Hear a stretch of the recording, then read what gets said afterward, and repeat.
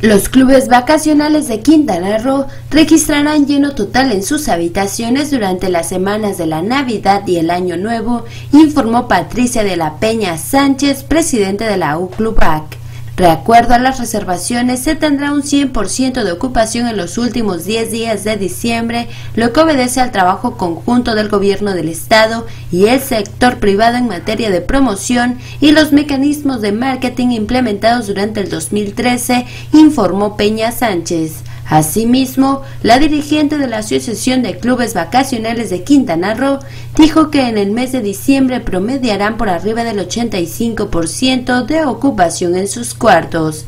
El mercado de Estados Unidos aportará anualmente 65% de los turistas que se hospedan en las habitaciones.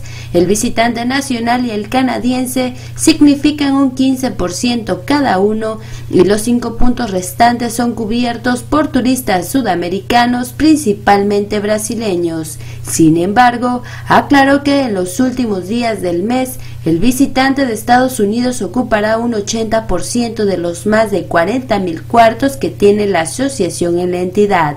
Para finalizar, señaló que una vez concluido el año, se espera estar 10 puntos arriba en comparación con el año 2012 en todos los rubros turísticos. Con información para nuestra visión noticias, Itzel Marín.